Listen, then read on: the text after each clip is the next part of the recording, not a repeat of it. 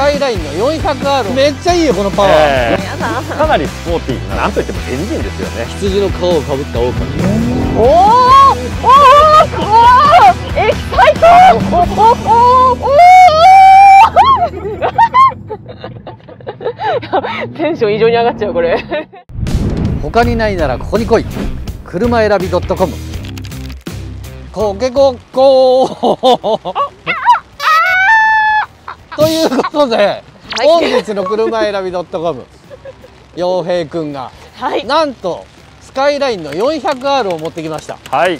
これは俺結構乗ってるよ。スカイラインだ。これ速くていいですよね。いやめっちゃいいよこのパワー、えー400馬力。なんかスカイラインらしいっていう感じですそうそうそうそうそう。よね走りの。そう、はい。羊の皮をかぶった狼が戻ってきたぞ、うん。ただね最初一番初めにはい。これ乗った時にさなんか変だなみたいな。はい。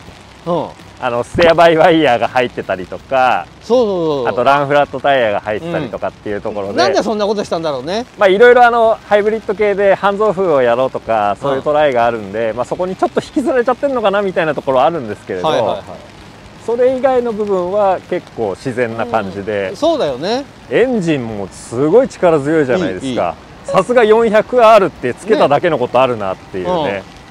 560万の価値あるもん。はもうもう散々乗ってきたよ俺これ。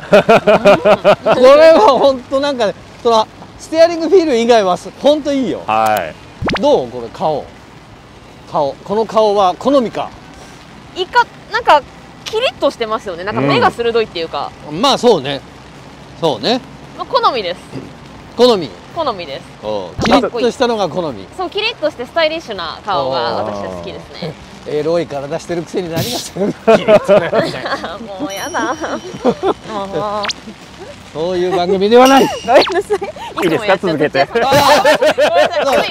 あのグリルはね前期型はちょっとまあおじさんチックなとい。うか感じだったんですけれど、かなりスポーティーになったってい。うところがなったよね特徴ですよね、そうだよねはい。い。400R は買い。だよねや買いだと思います、ね。これなんかちょっといじればかなり化けるっていう話もありますし。と思そう思う、はいでこのなんか違和感のあるステアリングフィールはう、ん、もうオーナーになっちゃえば慣れる。多分ね毎日触れてれば そうなんですよね。慣れちゃう。はい、うん。でもそれにしても 400R ってかつて R33GTR 時代にニスモが限定で出した名前と一緒じゃないですか、うんあの頃4駆でこれを成立させてたのに今や FR でねそうだよね。400R っていうものをうん。出してきちゃえるっていうところがねすごいですよね、これどうなの？売れてる？あんまり見ないんだけど。えー正直そんなに台数は出てないと思います。うん。はい、うん。見ないよな、うん。そうですね。あんまり。よ世の中的にはあんまり見ないよ。でもそう思ってる車将来化けそうですよね。数少ない希少な車っていうことですから。玉数少ない。玉数は少ないっていうことはね。そう。えー、そうなんかこれから人気出ちゃうんじゃないかなっていう気もしますけれど。まあなんといってもエンジンですよねエンジンいいね。これが3リッターツインターボエンジンが今度 Z に乗るわけですから、うんうん。ここからねさらにちょっともう少し進化させるみたいですけれど、はいはい。これがベースになって、うん。Z につながったっていうところがね、うんうん。やっぱりすごいですよね。そうだよね、うん。側は変わってないよね。そうですね。まああとテール周りはスカイラインらしくまあ丸テールっていうところがね、スカイラインだね。はい。これはなんか安心するスカイラインファンとしてはやっぱりこのマルテールよ、土屋さんも結構スカイラインね乗り継いでいらっしゃいましたけれどね。最初あれですよね箱須賀からですよねスカイラインとの出会いは。もう18歳の時から箱須賀です。気分は高橋国光ですよ。な何度もあの田んぼに落ちたけど。気分だけは高橋国光なんだよ。走るとその辺の小僧なんだよ。今日落ちないでくださいね海近いですけど、本当だよなえー、ちょっとじゃあ後ろ乗ってみようよ、はい。ね。はい。なかなか綺麗よ。まあでもスポそうですね。ーツモデルと思えぬゴージャスさというか。そうだね。おしゃれですね。後ろ USB はないんだ。あちょっと今時な装備が少ないですね。うん。そうだね。まあでもインフィニティ系の流れを組んで結構ゴージャスに作られてるっていうところはね、シートがゴージャス、そうですうねん、ホールド性も良さそうですねそうだね。結構、かもなく不可もなく。ん。そうですね。前乗ってみようか前。前乗ってみよう。後ろ乗る車じゃない。そうだね。うんそう後ろに乗る車ではない。あスポーティースポーティー。あそうですね。うん。乗りご座り心地の感じが。いいよシートいいね。まあ、あとパドルがついてたりとか、うん。まあ、一応スポーツしてる部分はあるかなっていう感じですね。そうだよね、いやだけどこの400馬力はいいよ。うーん。うんほんとなんかねもう羊の皮をかぶった狼よでも本当に羊の皮をかぶったというか普段ねおとなしく乗ってたら、うん。あの大人のセダンじゃないですか。そうそう。ほんとそう、ね。ほんとそう。いいよ。アクセルちょっと吹かしてもらっていいですか？意外とおとなしいですね。割とおとなしい。これスポーツモードとか選べるんですけれどその真ん中で。えっ、と後ろのこれです、はい。あこれだちょっと音良くなったりとかしますそうだね音変わるね。うん。軽やかですね。音が良くなって。うん、スタンダード。変わる？変わんない？はい。あの入れ方がちょっと早いか遅いかみたいなところだと思いますけ 変わんどない。変わんないですか、音変わんないよ。音は変わってないですかね。ほら。これエコだよ変わんないよ。まあ、これは走ってみないと何ともいろいろそうだフィーリねングがねわからないと思うので、はい。はい。よし。いいよでも。運転席いいよ。なかなか、まあ、あと2段のモニターがねついてあこれね。はい、はいはいはい。タッチパネルっていちいち見なきゃいけないからあんまり好きじゃないんだけどね。あ確かに。確かに。お前おっしゃってましたね。ねこうやってさこうや触る方が俺は好き、はい。まあやっぱり物理スイッチの方がやりやすいってところはありますうん楽だよね。なんか鏡見たりは結構近い近いですね。だいぶ。鏡鏡近い。これ助手席から言うとちょっと近いなと思いますね。目が悪い人用じゃない？あー確かになんか目のゴミとかは見やすい。ゴミ。ゴミ。なんか目に入ったゴミとかは見やすいあこれはなかなかいいかもよ。ちょっと乗ってみようよ。はい。ね。乗ってみよう。はい。車選び .com ね中古車検索サイトっていうの皆さんあんまりご存知ないみたいですよね。車選び .com しかない限定車両とかねあります。本当に本当に。調べてみて、えー車を買う時はね使ってみてくださいよ本当。車選び .com で検索。愛車のお値段すぐわかる。車選び .com さあスカイライン 400R ですいいねこのパワーは。400馬力。そう。おーおーくおーエキサイトすごい今狙ってましたねあそこでジャンプするの そうなんだよ。そうなんだよ。雨の日はスーパーカーになる。うわなかなかいいだろう。ー面白いです走っててワクワクした今でしょうんスカイラインってね、昔からは走りはいいんだよ。だから日産はこれ外しちゃいけない。おおおおおテンション異常に上がっちゃうこれえ面白うわえてかこれさすが土屋さんですよねこれすすごいよく滑る。おおよく滑る。いやだから、雨の日の400馬力ってこうよ。え面白もうほんと雨の日って、400馬力あると、はいはいはい。3速でも滑る。はい。滑る。本当に。えすごい。乗り物として楽しい。楽しい楽しい。はい。星のインパルのインパルのはい。はい 400R って、はい。あれ520馬力あるからね。120うん。すごい。いや、すげえよ。俺この間さ、インパルの 400R 乗ってきたけど、はいはいはい。めっちゃすげえ。すごいですね、でね、エアロもかっこいいんだよ。はいはいはいはいこれはまあスタンダードだからね。はいこれはこれでいいと思うんだけど、うんうんうんいやスタンダードでこのやんちゃさなのにまだいじるってのはすごいですね 確かにほんまにそこはもうさすがインパルよ。えーわあ、ね。400馬力だけでも十分。はいなんだけど、インパルとしては、じゃあもうちょっとやろうぜ、みたいな。うお城魂で。んすごこれあとあれですね。サスペンションが制御が変わってくるんでモードによって、今スタンダードですけど、まあ、引き締めたりじゃあ、スポーツプラスにします。まあ、ちょっとピクピクしますけれど、うん。そんな乗り心地悪くないです悪くない悪くない。いピクピクピクするんですか？お前、ピクピクにやる。前は変だからすいません。ついちょっと好奇心でどんな感じか聞いてみたくなっちゃった。霧島がピクピクしてますそう、ピクピクしちゃうの。ちょっと、大丈夫かなこれ。大丈夫ですかねすいすいません、すいません。ちょっとおとなしくします。確かに、まずいまずいぞ、これは。ピクピクしまししたました、ハートってやばいですね。いやだけど本当なんかちょっとこうスポーツプラスにすると割とかちょっと固めになるかな、うん。このペアリンかグもちょっとどっしりするそうだね重くなるっていうかね。へうん。まあスポーツプラスでインパル 400R ぐらいか。あそういう感じなんですね、うん。スポーツぐらいかな。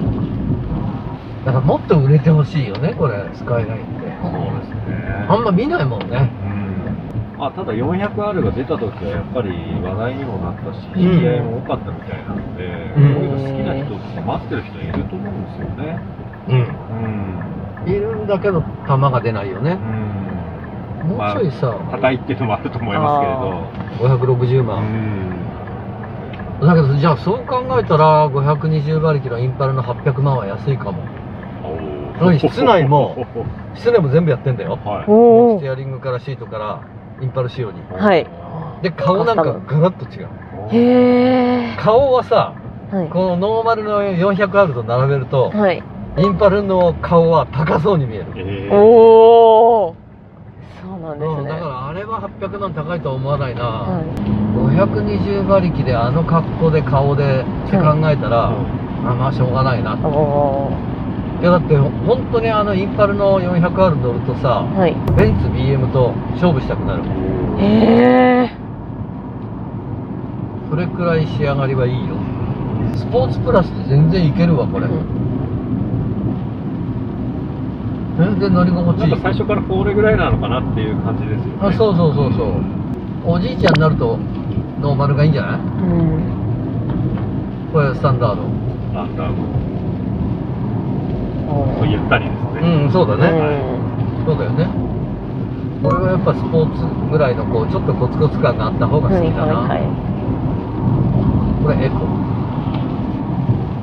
エコ、おお。これエコ。でスポーツプラス。おおおお。全然違う違いますよこれは。いやもう今の大興奮ですね。いやん好き好き。エコこうそうそうもっとこここもっともっと。つい興奮しちゃった。いいなゴケゴッコこここゴケゴッコいいよこけ。スポーツのこの足いいなちょっとちょっとコツコツっときて、いやめっちゃいいですね。本当にかっこいいし。こ、のパワーがいいよはい。ね400馬力。いい。なんか乗ってて気持ちいい。うん。合流がさ不安にならない。うん。いや、どこからでも加速できるってすごいですよね。ねそうなんだよね。こんないい車作っても認知度が低いって何なんだろうね本当に好きなやつしか知らないもんね 400R って。あれちょっとセダンがね、本当あまり見向きもされなくなってきちゃいましたからね。日本は弱いね。おヨーロッパなんかだとセダンが主流なんだけどね。日本はミニバンが主流だからね。おあと次は SUV かっていう感じですけどうんね。うん。SUV 流行ってきたね。確かに。スカイラインはやっぱさマニュアル欲しいね売れる売れない関係なくあってほしい。やっぱりドリフトの世界とかでもね、活躍してたわけじゃないですか。うん。そう。やっぱりなんか実用性ありつつドリフトもできるみたいなね、うんところが良かったですそうそれがスカイラインの良さだよね。マニュアル欲しいなスカイラインは。あとサイドブレーキですよね。そうサイド手引きサイドが。そう。これ足踏みですからね。それがもうダメよ。ああなるほど。それがもうダメ。もうオートマ足踏み。もう俺の中ではこれはスカイラインじゃなくてグロリア・セドリック。そう。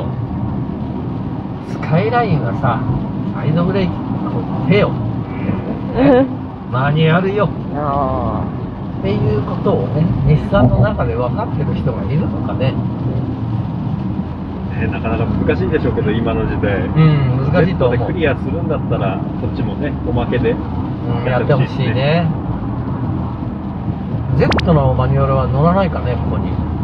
エンジン一緒じゃなんんかエンジン一緒だったら乗るんじゃないかなっていう気がしますけどね。ね。どうなんでしょうね。俺だったら乗せちゃうね。あ。マニュアル乗せちゃうね。でも多分好き者はやるでしょうね。Z のパーツ買ってきて、と思うよえー。あ絶対いると思う。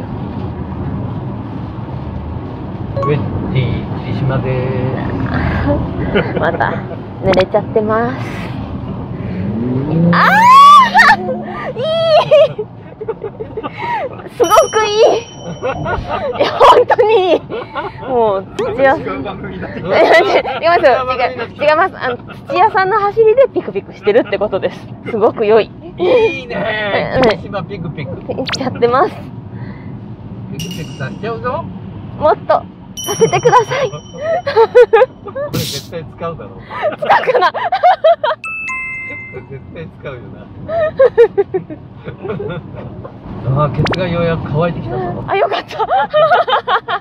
寒かったですからね。いやだってびちょびちょだったよ本当に。あの車紹介の時楽だなスカイラインは運転してて。あステアリングフィール。ステアリングフィールはなんか良さそうに。慣れるといいんじゃない？ですけど後ろ見てピクピクしてますよそう。ね慣れるといいと思うんだけどさ。あこういうもんだと思えばね。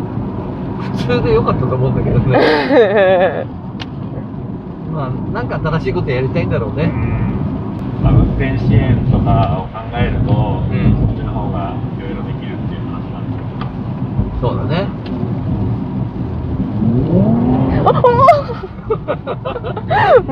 いい声だなコケコッもコうたまんないですねもう。声出すなつい泣いちゃいますねいや本当にかっこいいこの走りっていうか。やっぱさ400馬力あるからさどっからでもこうパワーが出るじゃん、はい。あそっか。そうそれがいいんだよ。いや本当になんかこのなんか走っててなんか助手席も興奮するっていいなって思います。はい。とってもいい。はい。いやラグがないですもんね。ないない。だからパーンと出るよトルクが。うん。今これの前の世代の NA の3.7リッターのスカイラインクーペ乗ってるんですけど、うん。ここまでないですもんね下のトルク。まあそうだよな。ちょっと欲しくなるな。うんうん。これってもう何年前登場自体もう多分34年ぐらい経ってる。ねえ。3年以上経ってるよねこれ。へステアリングフィール以外はもう全然。なんか普通に良かったよ。普通にっていうかかなり良かったよ。ーうんこれの前期モデルが全然人気なかったんですよね。あそう。えあのスカイラインクーペってやつ？いやこれセダンで、うん。あのインフィニティのエンブレムつけたスカイラインがあったんですよ。うんでビッグマイナーしてちょっと話題になったんですよね。うん。あれスカイラインクーペって3.5リッターだっけ？3.7です。あ3.7か。あれも1世代あ2世代あったんですよ。ああ。杉尾くんが練習用で乗ってるよ。ああそうですね。愛車のお値段すぐわかる。車選び .com さあ 400R 乗ってきましたけれどどうでした？土屋さんいやもう毎回乗るたんびいい車だなと思うんだけど、はい。なんでもっと認知度上がんないかうね、ん。ね。興奮できる車ですよねこれ、そうだよ。スカイラインの 400R って、うん。こんだけなんかこう羊の皮をかぶった狼なのに、はい。あんまり振り向いてくれないっていうかさ、んもうちょっとみんな見てよって感じ？でも乗せると助手席もね結構ヒーヒー興奮できたと思うんですけど、はい、うん行っちゃいました、ねえ。もう土屋さんの運転も相まって めちゃくちゃこ興奮しちゃいました。キュンキュン。キュンキュンピクピク。ピクピク。霧島ピクピクしておりました。はい。ね。いやだけど本当これはさ、はい。もうやっぱ3年前うん。に出てはいるんだけど、はい。やっぱこうもうちょっとみんなにこう見てほしい車だよね。そうですね。乗ると面白いなって思える車なんで。ねこのはい。400馬力はとってもいいよ、うん。ね扱いやすくて、はい。皆さんもぜひ機会があったら一度乗ってみてください、はい。よかったらいいね。あとは登録もお願いします。バイバイ。バイバーイ。ピックピック